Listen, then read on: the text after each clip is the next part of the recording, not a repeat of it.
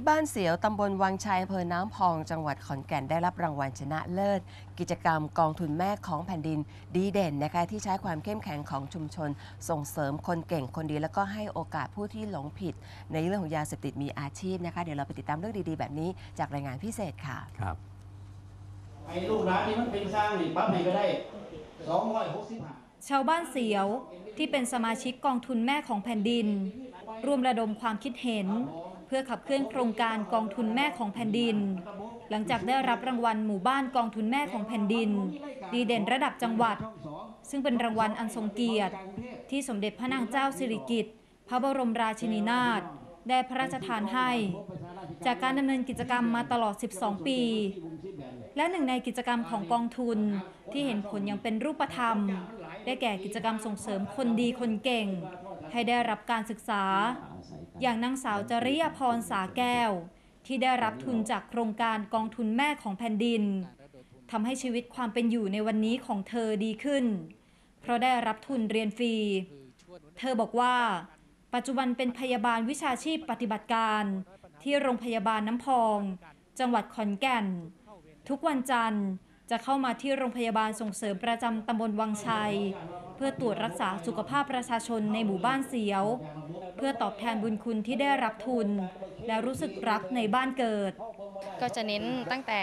กลุ่มเด็กแรกเกิด หญิงหลังคลอด ผู้สูงอายุนะคะ ผู้ที่มีโรคประจำตัวต่างๆเบาหวานเรื้อเรื้อรัง ความดันโลหิตสูง หรือว่าผู้ป่วยหลอดเลือดสมองที่ติดเตียง ร่วมกับเข้ามาค้นหาผู้ป่วย เพื่อที่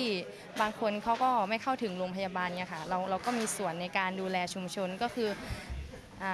ก็เป็นอีกทางหนึ่งที่เราได้ตอบแทนชุมชนนี้ที่ได้ให้อนาคตได้ให้โอกาสของเด็กคนหนึ่งนะคะ จนปัจจุบันนี้ก็คือได้มีหน้าที่การงานทำนะคะ ได้มีอาชีพที่มั่นคงค่ะ ก็รู้สึกสำนึกในพระมหากรุณาธิคุณนะคะของสมเด็จพระราชินีนะคะที่ได้อ่ามีกองทุนนี้ขึ้นมานะคะทำให้ส่วนหนึ่งเข้ามาในกองทุนแม่ของแผ่นดินนายคมกริตบุษราคำกำนันตำบลวังชัย กล่าวถึงกองทุนแม่ของแผ่นดิน ของหมู่บ้านเสียว ว่าก่อตั้งมาตั้งแต่ปีพุทธศักราช 2547 เริ่มแรกได้เงินทุนพระราชทาน